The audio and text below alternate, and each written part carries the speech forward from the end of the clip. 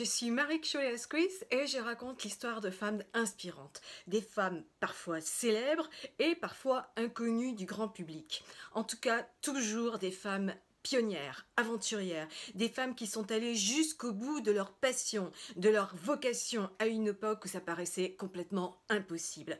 Des femmes qui ont ouvert des brèches dans la société de leur temps, simplement en étant elles-mêmes, et qui ont fait évoluer le regard de la société sur les droits et les possibilités des femmes. Par exemple, on croit connaître Marie Curie, l'héroïne française, à cause de ses deux prix Nobel, mais est-ce qu'on connaît son enfance polonaise, sa vie après la mort de Pierre Curie et son engagement pendant la guerre de 14-18 Ou euh, est-ce qu'on connaît encore Hélène Keller, sourde, aveugle, muette, qui est devenue écrivain, euh, conférencière, militante de renommée internationale? Ou par exemple euh, celle qui est complètement inconnue de nos jours, mais qui a été très célèbre en son temps, Nellie Bly, qui a inventé le journalisme d'investigation et qui a fait le tour du monde en moins de 80 jours pour battre Phileas Fogg en 1889.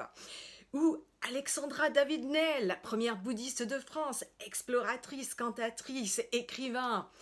Ada Lovelace, la fille de Lord Byron, qui a inventé les prémices du langage informatique à l'époque des robes à crinoline. Et que dire de Amelia Earhart, une des pionnières de l'aviation qui a accumulé les records et puis qui a donné lieu à l'un des plus grands mystères de notre époque.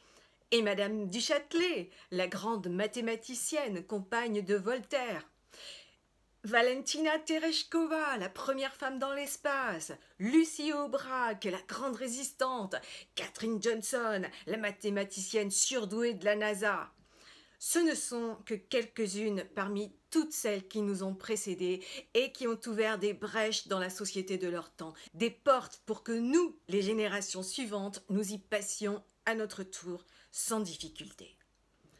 Ma démarche vise à rendre hommage à ces femmes qui, par leur détermination, leur courage, nous ont offert toutes ces possibilités. Et en même temps, par ces exemples inspirants, je vise à donner espoir et conviction aux auditeurs pour aller plus loin dans leur propre vie.